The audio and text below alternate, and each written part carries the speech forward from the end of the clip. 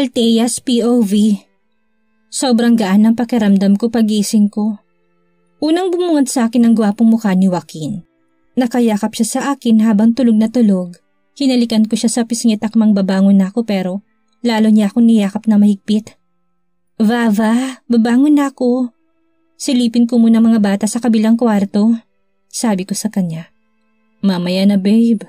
Gusto pa kitang kayakap. Inaantok na sagot niya sa akin. Okay, pero 5 minutes lang ha? Sabi ko sa kanya. Hindi ba pwedeng whole day? Minutes lang po, sa kami trabaho ka pa hindi ba? Kailangan natin ng pera, marami ng anak natin. Pabirong sabi ko sa kanya. Gawa tayo ng lalaki babe.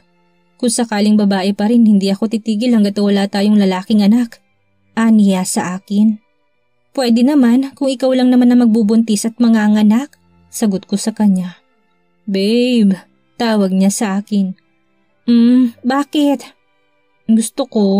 Mahinang bulong niya sa tenga ko. Anong gusto mo? Ikaw, gustong gusto kita. Sagot niya sa akin.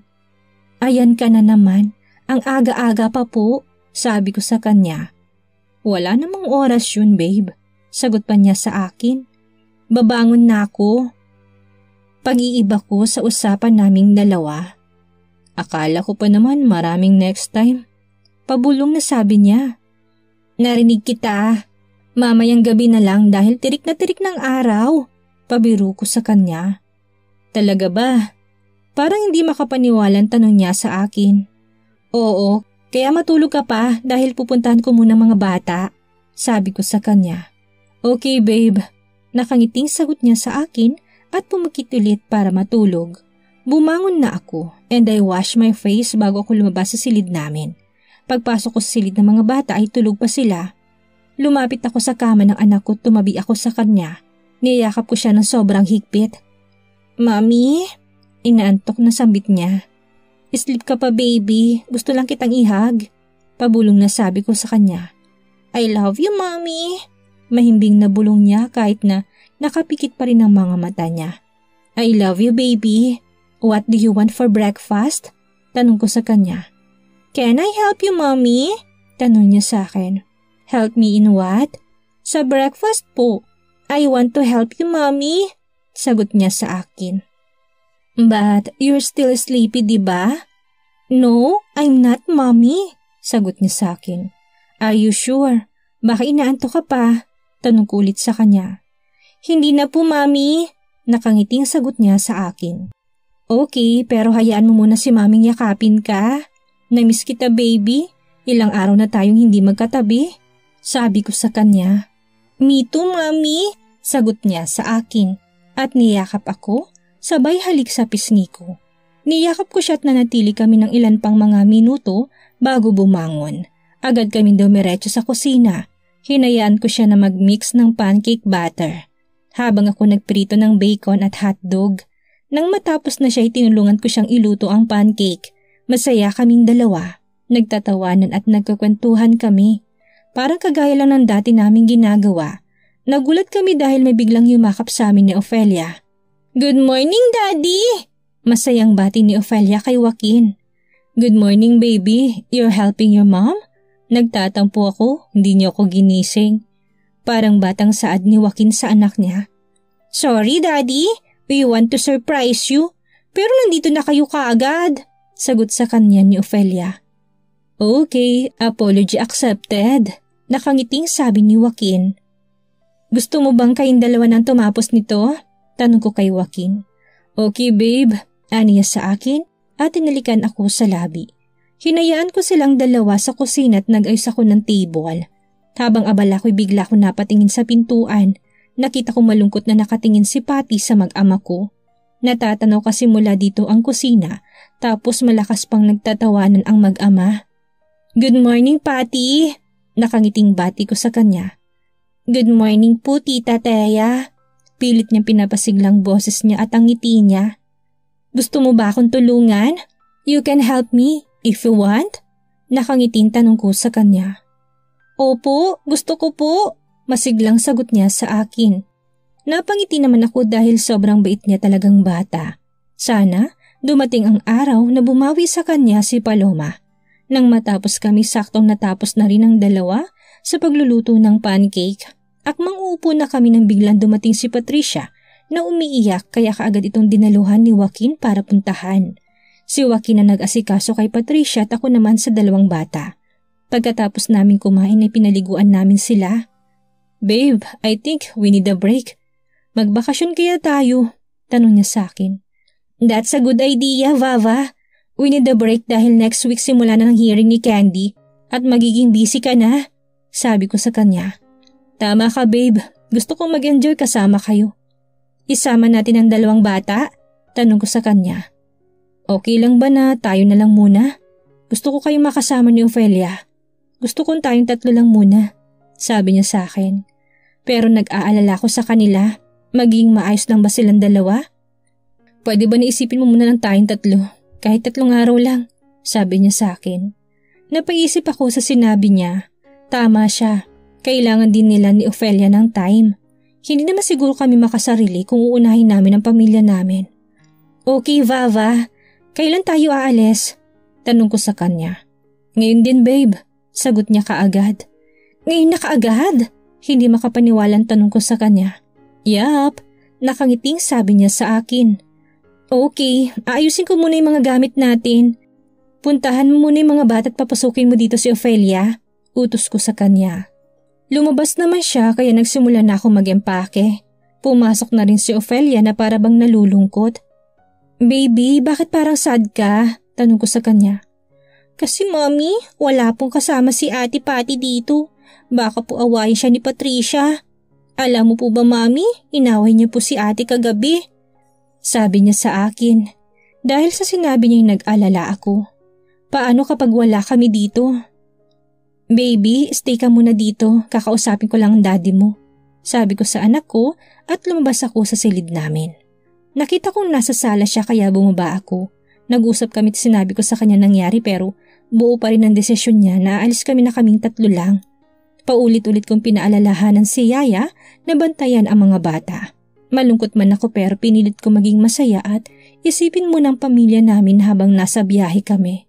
Alam ko na malungkot rin si Ophelia pero nakita ko ng unti-unti na itong nagiging okay. Sumakay kami sa private jet ni Joaquin at siya mismo ang nagpalipad. Ngayon ko lang nalaman na piloto na rin pala siya. Tuwang-tuwa si Ophelia habang nakikipag-usap sa daddy niya.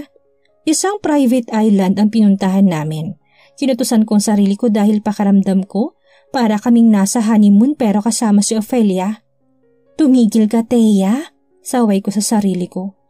Bakit namumula ka, babe? Tanong sa akin bigla ni Joaquin. Wala, mainit lang. Nainitan lang ako. Masyado na kasing tirik ang araw. Pagdadahilan ko sa kanya. Here, aniya sa akin sabay abot ng buko juice. Thank you, Vava.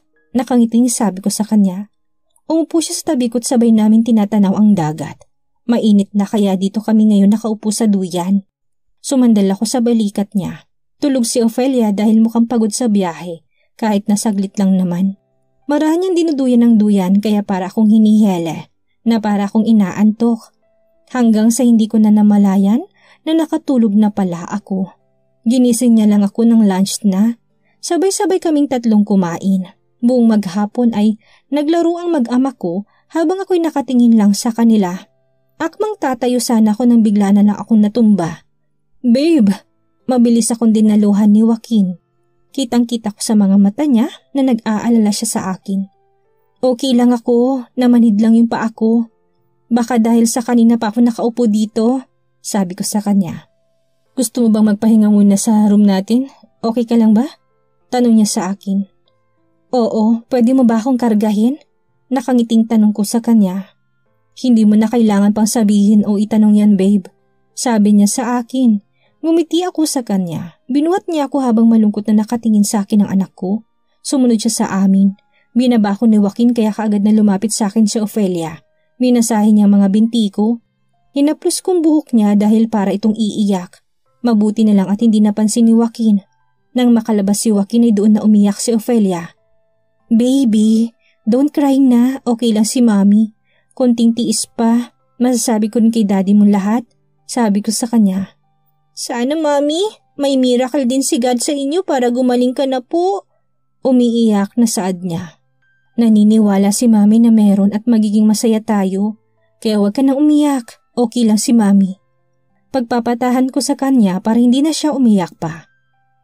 I'm brave and strong po. Di na po ako iiyak. Sabi niya sa akin habang pinupunasan ng luha niya at ngumiti siya sa akin. Napangiti na rin ako sa kanya at niyakap ko siya. Mahal na mahal kong anak ko at hindi ko hahayaan na mahirapan siya kaya buo ng desisyon ko. Sasabihin ko na kay Joaquin ang tungkol sa sakit ko. Pagbalik namin sa Maynila ay aaminin ko na sa kanya ang totoo. Naging maayos ang pakaramdam ko kinagabihan. Pinatulog ko muna si Ophelia at Joaquin. Nainitan ako para bang gusto kong maligo sa dagat. Namili ako ng bikining isusuot ko hindi pa naman malalim ang gabi kaya gusto ko magtampisaw sa tubig. Nagsuot ako ng balabal at lumabas na. Hindi gaanong madilim, sakto lang ang liwanag na nagmumula sa buwan. Naglagay ako ng tela sa buhangin at sinindihan kong mga kahoy. Nakangiti ako dahil talagang island vibe ang datingan ng ginawa ko. Umupo ako at ilang minuto nagmasid sa dagat. Tanging tunog ng mga alon ang naririnig ko. Malamig ang simoy ng hangin kaya napayakap ako sa sarili ko pero biglang may mainit na brasong pumulupot sa aking katawan. Nang lingunin ko ay si Joaquin pala ito at talatang bagong gising siya. Siguro ay hinahanap niya ako sa loob. Bakit hindi mo ko ginising? Pabulong tanong niya sa tenga ko. Masarap na kasi ang tulog mo kaya ayaw kitang istorbohin. Sagot ko sa kanya. Maliligo ka ba? Tanong niya sa akin habang inahalikan ng leg ko. Oo, oo, Napapaungol ako habang sumasagot sa kanya. Sabay na tayo. He murmured into my ears and licked it. Dahil sa ginawa niya, nagbigay ito ng kakaibang init sa buo kong katawan. Nagsisimula na rin maglumikot ang mga kamay niya. Napapikit naman ako sa ginagawa niya. Gusto mo na bang maligo? Nangaakit na tanong niya sa akin. Ma- maligo na tayo. Nautal na sabi ko sa kanya. Humarap ako sa kanya at sinalubong niya ako ng isang mapusok na halik. Kumapit naman ako sa leeg niya at gumanti rin ako ng halik. Mapusok pero may kasama pa ring pagmamahal. Ramdam ko sa bawat galaw ng labi niya. Nararamdaman ko na umangat ako dahil binuhat niya ako. Naglakad siya habang karga ako at hindi rin napuputol ang halika namin. Dahan-dahan siyang lumusong sa tubig.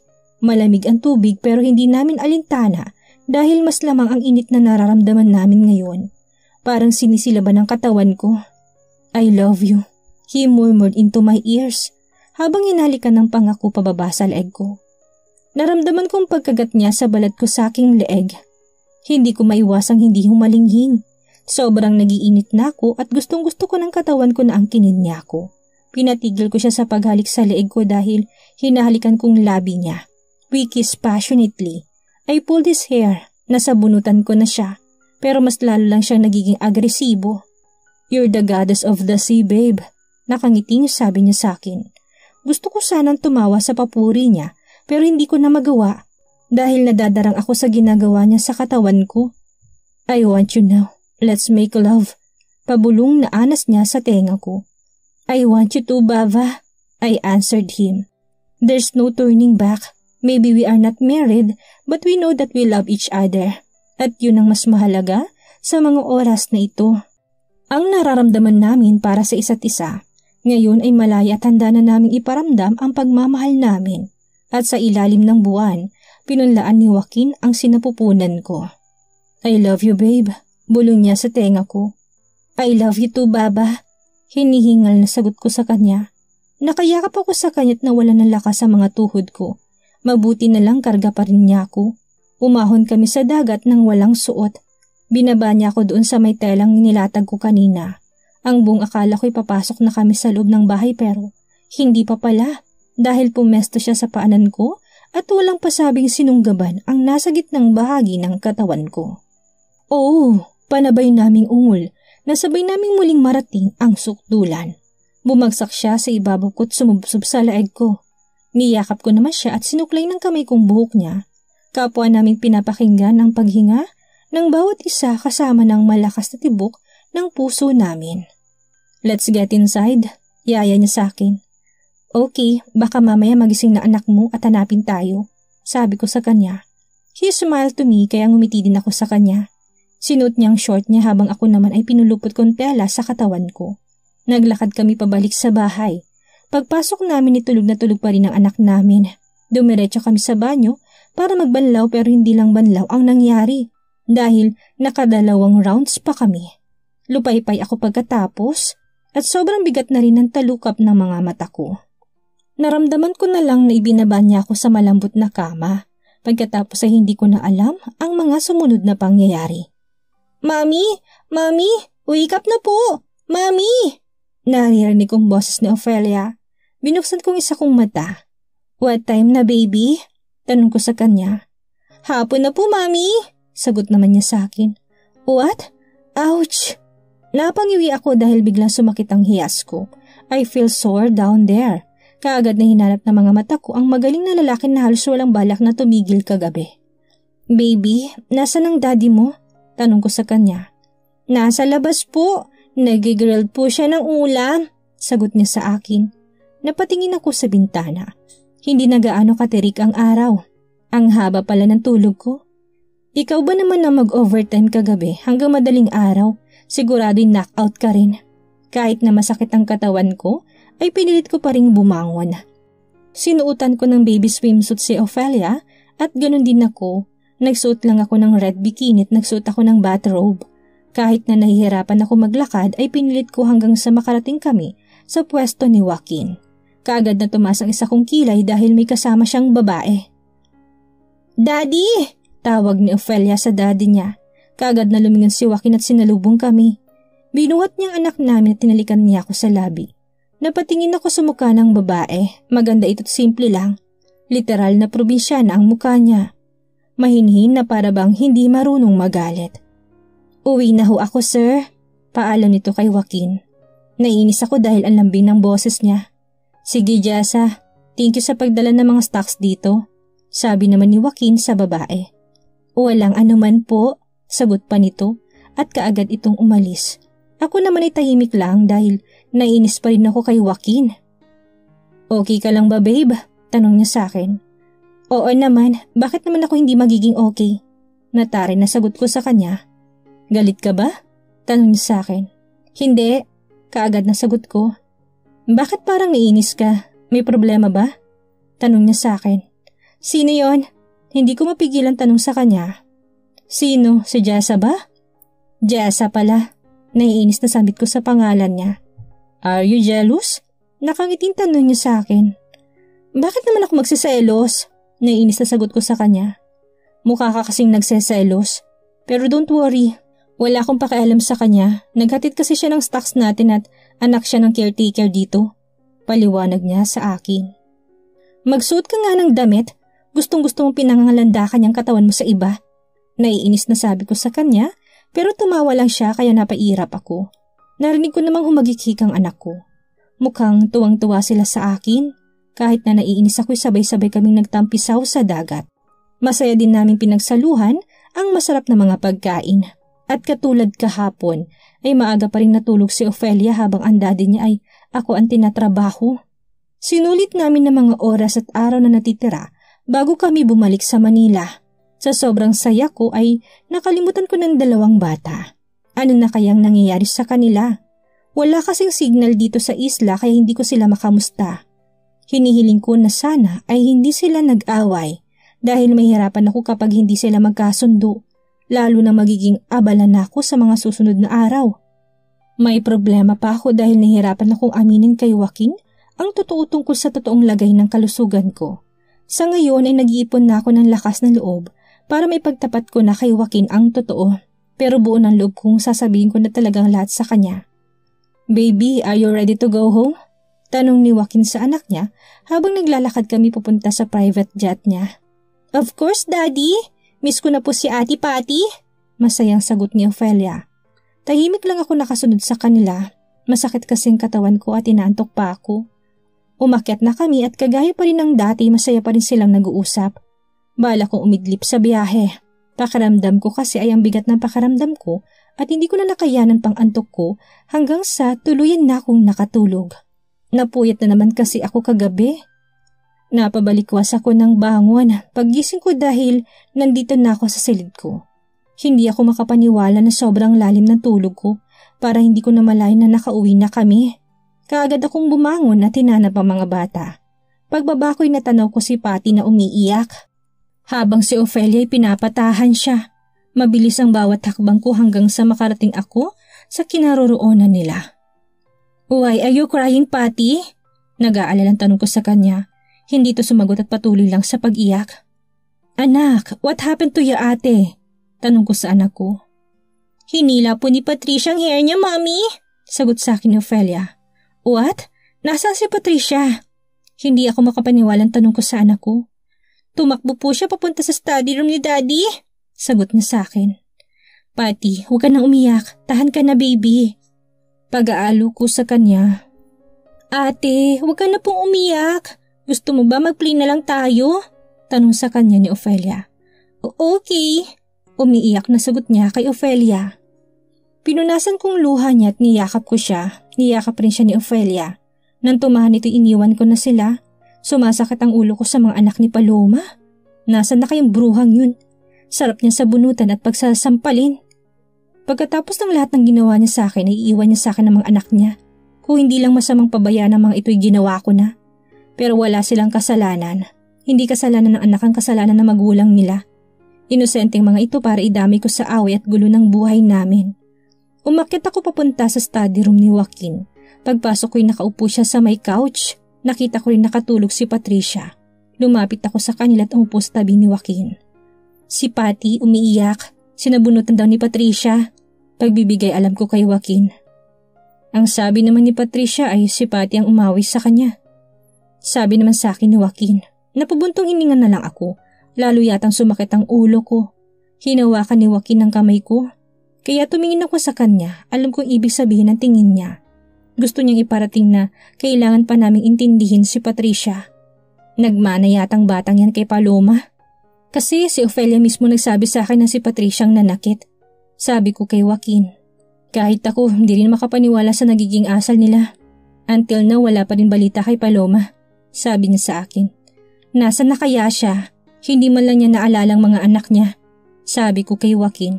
Ang galing niya magtago, pero ako mismo magpapalabas sa kanya. Sabi sa akin ni Joaquin. Anong gagawin mo? Malalaman mo rin babe. Nakangiti sagot niya sa akin. Nag-usap pa kami pero hindi rin matagal dahil bumalik ako sa mga bata. Napangiti na lang ako dahil magkasundo talaga ang dalawa. Sana kapag lumaki sila ay ganito pa rin sila. Nang magising si Patricia ay pinagsabihan ko siya. Gusto ko na malaman niya na mali ang ginagawa niya kay Patty.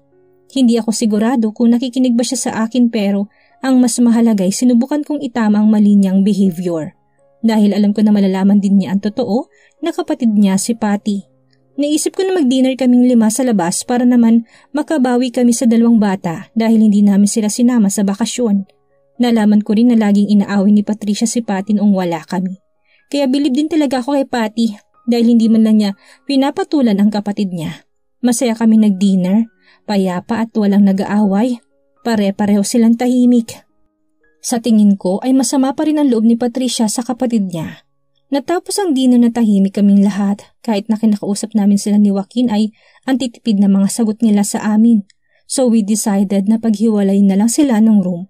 Kinabukasan ni maaga kong gumising dahil may check-up ulit ako sa ospital. Kailangan ko rin kumuha ng certificate na dito sa Pilipinas para magamit ko as evidence sa court. Hanggang ngayon hindi ko pa rin nasabi kay Joaquin ang nangyari sa akin. Biglang nawawala ang lakas ng loob ko kapag kausap ko na siya. How are you, Miss Cruz? Nakangiting tanong sa akin ng doktor. Honestly, Doc, I'm not okay. Napapadalas na po ang pagkawala ng lakas ng mga tuhod ko. At natatakot na po ako. Natatakot po ako maging pabigat sa pamilya ko. Sagot ko sa kanya. Sa totoo lang, natatakot din ako na baka tuluyan ka malumpo. Lalo nang lumilitang chance na gumaling ka dahil lalong kumakalat ang mga gamot sa ovary mo. Hindi na siya makakaya ng gamot. Mapapabagal niya pero hindi na maaagapan. Malungkot na sabi niya sa akin. Pero Doc, paano po kung sakaling mabuntis ako? Tanong ko sa kanya. Sa ngayon, malabo ang chance na mabuntis ka ulit. Pero kung sakaling mabuntis ka, walang kasiguraduhan kung mabubuhay ba siya ng matagal sa sinupupunan mo. Malaki ang chance na masawi siya. Ikaw o kayong dalawa na mismong mawala Kaya hindi talaga advisable na magbuntis ka pa ulit. Lalo na't naging mahirap ang una mong pagbubuntis. Sagot niya sa akin. Thank you, Doc. Umiiyak na saad ko sa kanya. Bumigat lalo ang pakaramdam ko. Parang naninikip ang dibdib ko sa narinig ko mula sa doktor ko. Kahit na inasahan ko na ito, ay masakit pa rin pala. Pero hindi ako susuko o mawawala ng pag-asa. Kakayanin ko't susulitin kong mga oras na meron ako. Bukas ng trial at uupo ako sa witness stand. Hindi ko sinabi kay Joaquin. Tanging ang lawyer lang ang nakakaalam. Dahil ang tanging alam ni Joaquin ay ang mga samples ng gamot na binigay sa akin. Habang palabas ako ay may nakabangga ako. Sorry, sabi niya, napakunot ang noo ko dahil kaboses niya si Paloma. Mabilis akong lumingon at hindi ako nagkamali. Sandali! Sigaw ko sa kanya pero mas lalo niya binilisan ang lakad niya. Hinabol ko siya tinila kong buhok niya. Tiya! Nautal na bigkas niya sa pangalan ko. Bakit ka nandito? At bakit mo iniwan ang mga anak mo? Tanong ko sa kanya. Tiya! Umiiyak na tawag niya sa pangalan ko. Mag-usap tayo. Seryosong sabi ko sa kanya at hinila ko siya papunta sa garden area. Bakit ka nandito? Tanong ko ulit sa kanya. Gusto ko magpa-check up, sagot niya sa akin. Bakit? May nararamdaman ka ba? Tanong ko sa kanya. Wala naman. Nalaman ko kasi yung gamot na binigay sa'yo ay hindi pala tunay na vitamins. Umiiyak na sagot niya sa akin. Bakit ka uminom? Bakit mo ininom? Nangialam ka sa mga gamit ko? Sa pag-aari ko? Galit na tanong ko sa kanya. Kasi nga ang buong akala ko vitamins yun. Hindi ko alam na drugs pala siya. Natatakot ka na ba? Alam mo ba kung anong epekto ng gamot na yun sa akin? Tanong ko sa kanya. Nakita ko kung paano siya namutla sa takot. Alam ko na natatakot siya ngayon. Pero totoong sinabi ko na mas malala sa iniisip niyang epekto nun. A ano? Nautal na tanong niya sa akin. Hindi na ako mabubuntis pa. At yun ang dahilan kung bakit munti ka nang mawala sa akin ng anak ko. At magiging dahilan ng pagkalumpo ko, Paloma. Malaki ang chance na malumpo ako. At wala na, wala na pag-asa. Kaya ngayon, masaya ka na ba? Bumalik ako para bigyan ng hustisya ang ginawa niyang pagsira sa buhay ko at kasama na doon ang ginawa niya sa akin. Malulumpo din ba ako? Natatakot na tanong niya sa akin. Sa tingin mo ba, gagawin ko sa yung ginawa niya sa akin? Malungkot na tanong ko sa kanya. Oo, dahil galit ka sa akin. Umiiyak na sagot niya sa akin. Sa tingin mo masama ako? Sa tingin mo talaga magagawa ko yun sa'yo? Ang anak mo, bakit mo sila iniwan? Sunod-sunod na tanong ko sa kanya. Teya, iiwan ko muna sila sa'yo. May kailangan pa akong gawin. Sagot niya sa akin.